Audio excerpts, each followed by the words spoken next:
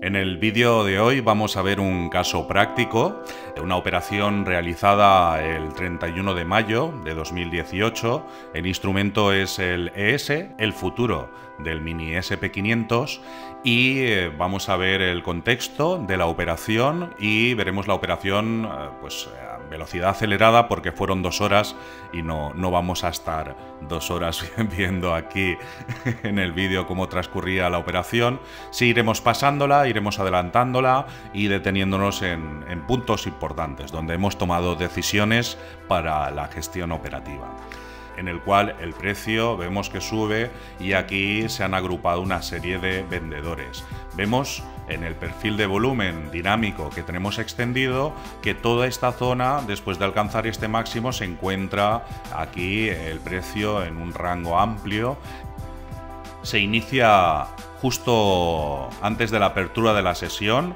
Estos son las 14.50 de España. Estamos hablando a 39 minutos de la apertura, un movimiento bajista, vamos a verlo con más detalle, un movimiento bajista en el cual el precio empieza a caer, rompe la zona donde está concentrado todo el volumen y se inicia el desequilibrio.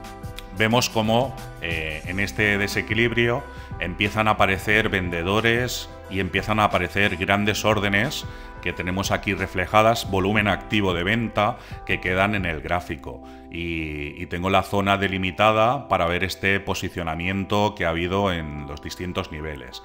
Se inicia un primer impulso bajista, aquí quedan atrapados unos vendedores, y luego sigue, luego otros vendedores. Y eh, en esta parte de aquí eh, es un momento clave de la sesión. En este momento atraviesa la zona, la atraviesa bastante agresiva y hay un momento eh, en este punto en el que los compradores quedan atrapados. Entra un volumen relevante comprador, aquí se puede ver, volumen relevante comprador y ya no consiguen mover más arriba el precio. En este momento estos compradores quedan atrapados y empiezan a ser la contrapartida para nutrir el impulso bajista.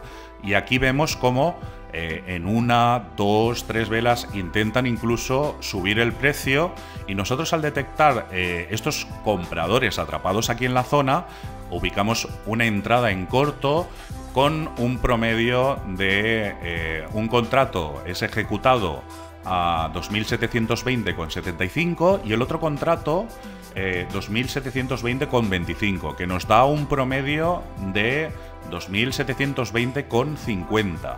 Para los que le gusta el delta, eh, en el indicador como, como aquí hay una intensidad de ask, se puede ver a medida que vamos alcanzando nuevos máximos, eh, el delta eh, va creciendo y cuando llegamos a la zona en la cual hemos hecho la operación, fijaros cómo esa intensidad empieza a decrecer hasta que quedan atrapados estos compradores Fijaros el cambio que hay en el delta y entonces ya empieza esa corrección, ¿no? Cómo estaba subiendo el precio y entrando demanda y cómo se produce al ir subiendo por los niveles ese, ese agotamiento en el delta.